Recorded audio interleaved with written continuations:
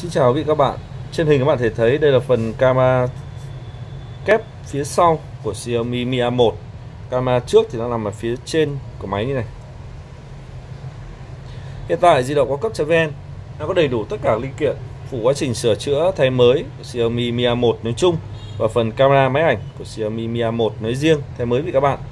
Quý vị các bạn chỉ cần mang máy qua các địa chỉ của di động có cấp ven Chúng tôi tiến hành thay mới vị các bạn nhanh chóng, an toàn và tiện lợi.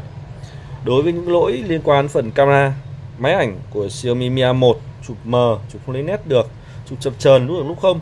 Quý vị các bạn chỉ cần mang máy qua các địa chỉ của di động cao cấp.vn là chúng tôi tiến hành thay mới được cho quý vị các bạn nhanh chóng, an toàn và tiện lợi.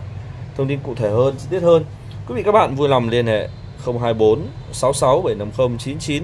Xin cảm ơn quý vị các bạn đã xem video giới thiệu dịch vụ thay mới camera máy ảnh của Xiaomi Mi A1 tại di động cao cấp.vn.